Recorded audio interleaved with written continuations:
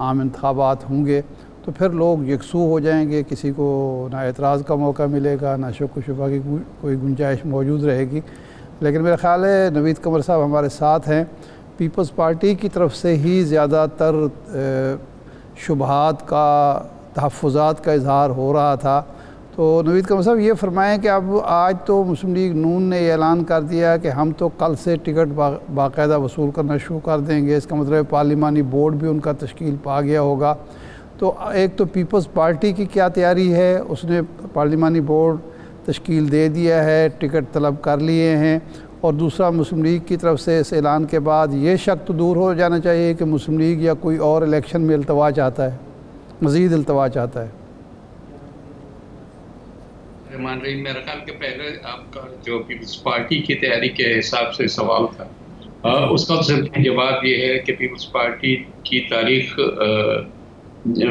दरखास्त जमा करने की काफ़ी दिन हुए गुजर भी चुकी है उसके अच्छा। बाद हमारा पार्लियामेंट्री बोर्ड भी बना और पार्लियामेंट्री बोर्ड ने जो है वो शॉर्ट लिस्टिंग भी मुकम्मल कर दी है फ़िल्म में भी टोटली मुकम्मल शायद एक आध डिस्ट्रिक्ट रहता है।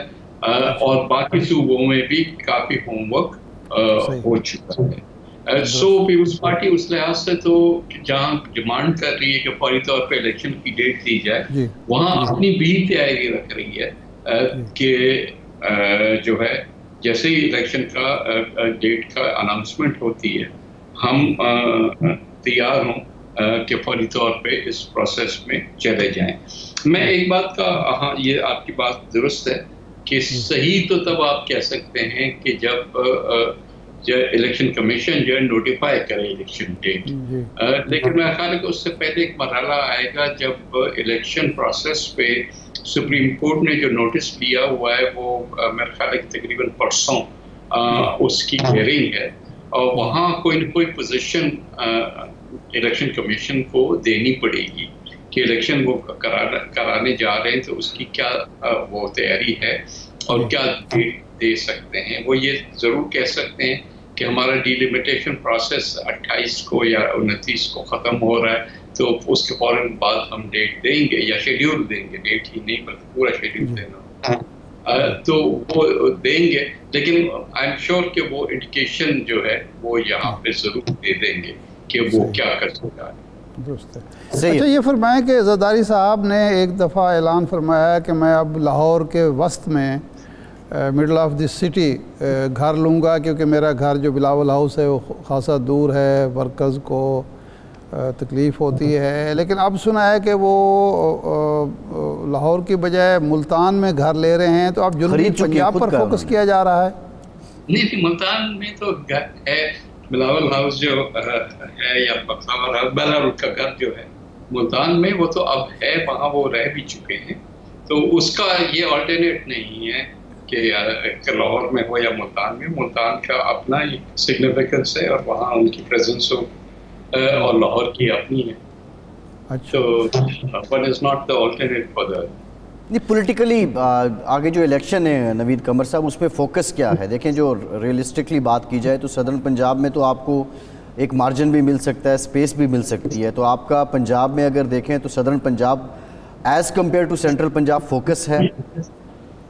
नहीं न सिर्फ़ फोकस है, बल्कि अट्रैक्शन भी ज़्यादा है। इस वक्त भी जो पिछली असम्बली जो ख़त्म हुई, वहाँ भी हमारी जो प्रेजेंस थी प्रोपोर्शनेटली भी एब्सोल्यूट नंबर्स में भी हमारी साउथ पंजाब से काफ़ी ज़्यादा थी कंपेयर टू सेंट्रल पंजाब तो ज़ाहिर है कि हम भी ये समझते हैं कि हमारी जो पॉलिसीज़ हैं और हमारा जो इस वक्त रिकॉर्ड है उसमें हमें साउथ पंजाब में ज़्यादा सीटें मिलने की जो है तो है और उसको सप्लीमेंट जो है वो सेंट्रल पंजाब ज़रूर कर सकते जनूबी पंजाब में आपके मद्द मुकाबल मुस्लिम लीग नून होगी, सही मुकाबला आपका, या इस्तेकाम पाकिस्तान पार्टी से होगी, क्योंकि जहांगीर तरीन साहब फोकस भी कर रहे हैं और वहाँ के इलेक्टेबल ज़्यादातर तादाद में पीपल्स पार्टी या मुस्लिम लीग नून का रुख करने के बजाय वो इस्तेकाम पार्टी इस्तेकाम पाकिस्तान पार्टी की तरफ़ जा रहे हैं।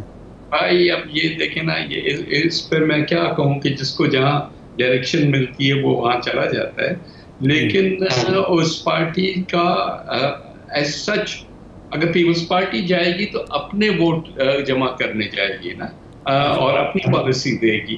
अगर तो वो ये सोच रहे हैं कि पीटीआई का वोट मेंबर के शिफ्ट होने से उधर चला जाएगा। मेरा ख्याल है कि ये भूल है जो भी ये चीज़ प्लान कर रहे हैं और वोट इस तरह से शिफ्ट नहीं होता कभी।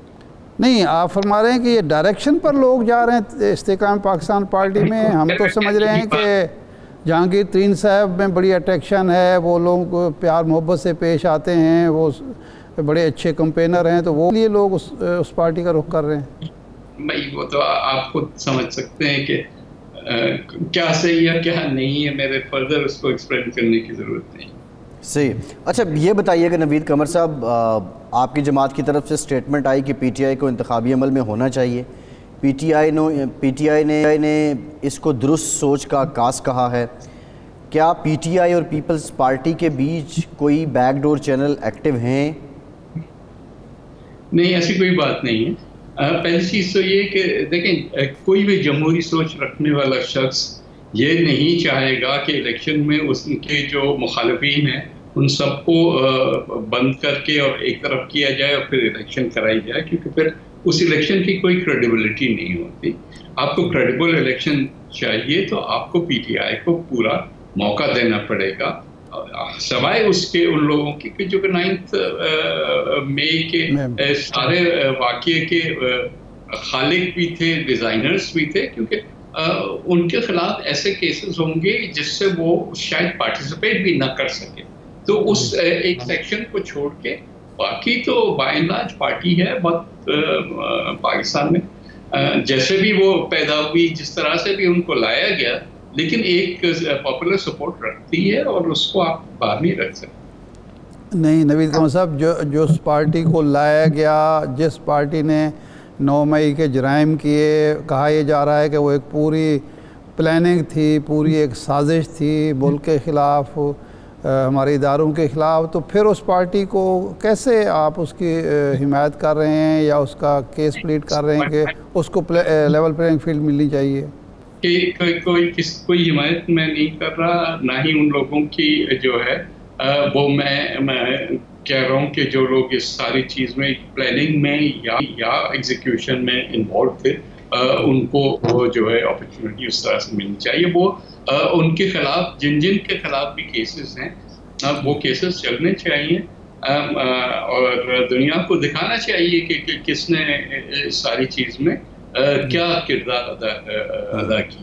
लेकिन जो लोग इसमें इन्वॉल्व नहीं है उनको भी इलेक्शन प्रोसेस से बाहर रखने से आपकी अपनी इलेक्शन प्रोसेस जो है उस पर क्वेश्चन मार्क आएगा। तो ये नहीं होना चाहिए।